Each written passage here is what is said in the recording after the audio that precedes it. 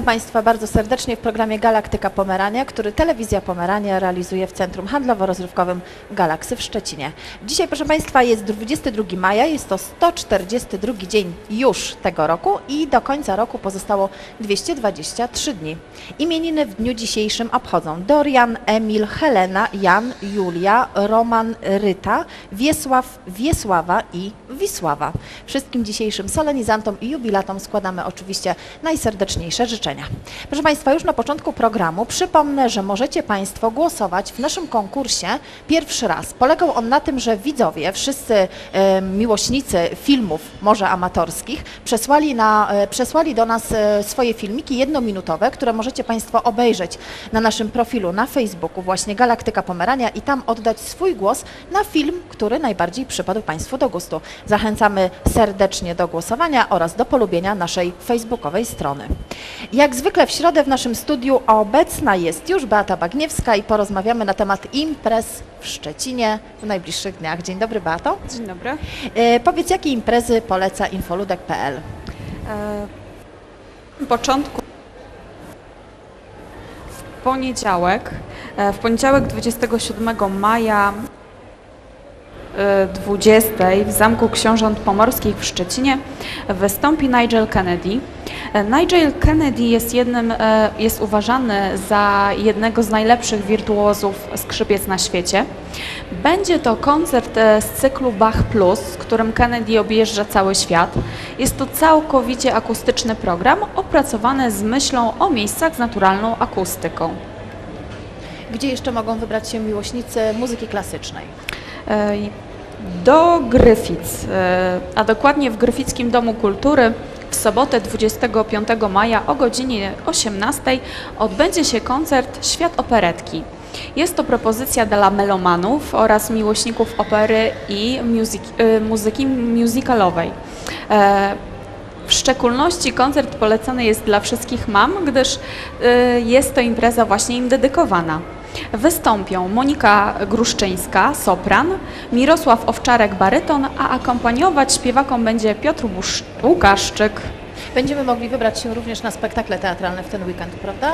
Tak, dokładnie. Mm, Już w piątek. W piątek rozpoczną o godzinie 19 rozpoczną się 15 spotkania teatralne Okno 2013. E, Jest to festiwal organizowany przez Teatr Kana w Szczecinie. E, Festiwal potrwa do wtorku, do 28 maja. W programie oczywiście spektakle, między innymi Mr. Carmen i White Cabin oraz spotkania z publicznością, wieczór z filmami teatru Akhe oraz wieczór improwizacji. I w Szczecinie odbędą się również dwie premiery teatralne. Tak, mm, pierwsza premiera teatralna odbędzie się w piątek o godzinie 19 w Teatrze Współczesnym w Szczecinie. Będzie to premiera sztuki Sławomira Mrożka pod tytułem Piękny Widok. Akcja dramatu rozgrywa się w gorące śródziemnomorskie lato. Bohaterowie spędzają wakacje w kurorcie mieszczącym się w dawnym klasztorze. Uwodząc i prowokując siebie nawzajem, nie podejrzewają, że sielskie wakacje staną się dla nich prawdziwym wyzwaniem. Kolejna e, premiera, kolejna premiera będzie propozycją dla widzów najmłodszych. Mm, Odbędzie się ona w sobotę 25, e, 25 maja o godzinie 17 w Teatrze Lalek Pleciuga e, w Szczecinie. Będzie to premiera spektaklu Mała Syrenka. Mm, Jest to sztuka oparta na klasycznej baści Hansa Christiana Andersena, opowiadająca o tragicznej i wielkiej miłości małej syrenki. Syrenka podczas sztormu e, ratuje młodego księcia i się w nim zakochuje. Postanawia zrobić wszystko, aby stać się człowiekiem i zdobyć serce ukochanego. Ponieważ na szczęście robi się coraz cieplej, to i muzyki na żywo można posłuchać. I tak, Tak. będzie w ten weekend też, prawda? Tak, tak. E, aczkolwiek nie na zewnątrz, a w klubie będzie to klubie, koncert. nie na tak, zewnątrz? Tak, będzie to e, koncert w klubie Hormon, który odbędzie się w sobotę 25 maja o godzinie 19. Będzie to koncert, e, podczas którego wystąpi Jacek Bończyk e, z programem pod tytułem Mój Staszewski. E, Jacek Bończyk jest jednym z najlepiej śpiewających aktorów w Polsce. Koncert jest hołdem dla Stanisława Staszewskiego, przedstawiciela polskiego undergroundu lat 60. Mm, Bończyk e, zaprezentuje podczas koncertu mm, akustyczne aranżacje mm, utworów Staszewskiego, e, nawiązując do klimatu warszawskiej i paryskiej rzeczywistości z połowy ubiegłego stulecia. Będzie też nie lada gratka dla miłośników książek. Tak, wszyscy, którzy kochają książki, wszystkich, którzy kochają książki, zapraszamy w piątek. W piątek do Szczecina, gdyż rozpocznie się tam pierwszy festiwal książki słuchanej. Potrwa on do niedzieli, do 26 maja. Odbędzie się ponad 50 imprez. Przede wszystkim będą czytania na żywo różnych książek, które będą czytane przez wybitnych dziennikarzy i aktorów, między innymi Krystynę Czubównę, Mariana Opanie, e, Jana Nowickiego, Annę Seniuk i Wojciecha Przoniaka. Poza tym odbędą się spektakle e, poetycko-teatralne, koncerty piosenki aktorskiej i wiele imprez towarzyszących. Miesiąc dla wszystkich studentów ważny, już od lat. Tak, maj to święto studentów i w całej Polsce odbywają się juwenalia. Tak też będzie w Szczecinie. Już dziś rozpoczynają się juwenalia 2013. W programie oczywiście wiele świetnych koncertów, między innymi Koma, e, PZ, Enej, mm, Happy Set, e, Kamil Bednarek i Indios Bravos. Poza tym pikniki, wiele, e, wiele konkursów, e, zawodów sportowych na poważnie i na wesoło, pokazy taneczne i pokazy sztuk walki.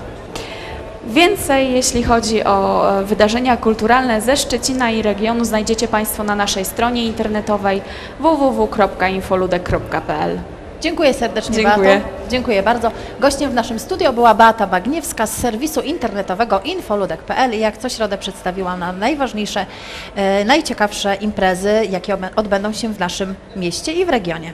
E, w dalszej części programu spotkamy się z, Grzegorzem Kluczyńskim, szczecińskim blogerem i porozmawiamy z nim między innymi e, o Nocy Muzeów. Wspomnimy Noc Muzeów, jak przebiegała w Szczecinie, jakie głosy internautów pojawiły się na forach, czy, czy Szczecinianie są zadowoleni, pewnie tak, ale o tym wszystkim, o, te, o tym wszystkim dowiemy się od Grzegorza. Powiemy również o juwenaliach, y, czyli o tym wydarzeniu, które zapowiadała przed chwilą Beata, ważnym dla wszystkich szczecińskich studentów. Powiemy również o y, palmie, która pojawiła się na placu Hołdu Pruskiego i budzi skrajne emocje. Niektórym się podoba, niektórym nie.